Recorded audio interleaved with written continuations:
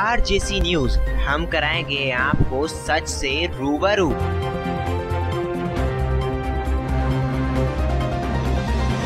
जहाँ एक तरफ़ मुरादाबाद के समाज सेवी अरविंद गोयल का स्वास्थ्य खराब है तो वहीं उनकी स्वास्थ्य ठीक होने की कामना के लिए इस क्षेत्र के लोगों ने उनके स्वास्थ्य सही होने के लिए हवन का आयोजन किया। जी हाँ हम बात कर रहे हैं पीतल नगरी के स्वर्गीय श्री पागल बाबा के शिव दुर्गा मंदिर में हवन किया गया। जहाँ पर गरीबों का मसीहा माने जाने वाले अरविंद गोयल जी के स्वास्थ्य ठीक होने व उनकी दीर्घायु की कामनाओं की गई। हवन कराते समय सभी ने ईश्वर से प्रार्थना की कि अरविंद गोयल जी जल्द स्वस्थ हो जाएँ और समाज में पहले की तरह ही समाज सेवा करते रहे। हवन को पूर्ण आहुति सहित अशोक कुमार त्रिपाठी ने पूर्ण कार्य हवन में प्रताप सेवा समिति के अध्यक्ष क्षेत्र के गणमान्य लोग क्षेत्रवासी, महिला व पुरुष सम्मिलित हुए, जिसमें अरविंद कुमार राठौर, रमेश कुमार प्रजापति, गोकुल राम सैनी, जितेंद्र सिसोदिया, हरिओम सिंह, उमेश प्रजापति, ब्रजवान सिंह, राकेश मिश्रा, विकेश राजपूत, सचिन ठाकुर, शीतल सिंह यादव, मयंक कुमार, विनय कुमार, सोमपाल सिंह राठौर, राजू वेंगर, दिशांत उदय प्रताप सिंह, भुवनेश्वरी देवी मधु देवी पीतावती देवी, रामेश्वरी देवी, रामश्री नवीन प्रजापति, विजय कश्यप, शिवम शुक्ला, विजय कश्यप, विजय सैनी, बंटी राठौर आदि संख्या में लोग मौजूद रहे।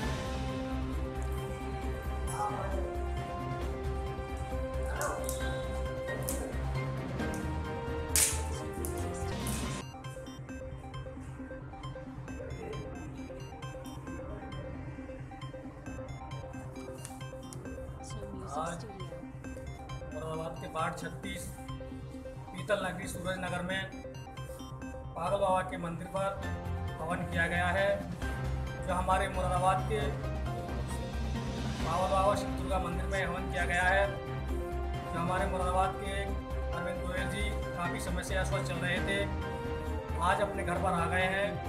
उनके अति शीघ्र ही स्वस्थ होने के लिए इस को किया गया है। और ईश्वर से प्रार्थनाएँ की गई हैं कि जल्द से जल्द स्वस्थ हो जाएँ। इस मुरादाबाद ज़िले के बहुत ही महान व्यक्ति समाज सेवी व्यक्ति हैं और हम चाहते हैं उनकी दीर्घ आयु की भी कामना की गई है। यहाँ पर श्री पागल बाबा के सिद्ध दुर्गा मंदिर में श्री अशोक कुमार त्रिपाठी जी के द्वारा इस हवन को किया गया है। यहाँ पर महिलाएँ व पुरुष और समाज सेवीगण गणमान्य लोग सभी मौजूद रहे हैं। इस मंदिर के अंदर और हवन करते समय प्रार्थनाएँ की गई हैं इनकी दीर्घ आयु की कामना की गई हैं। और जल्दी स्वस्थ हों ये कामनाएँ की, की गई हैं।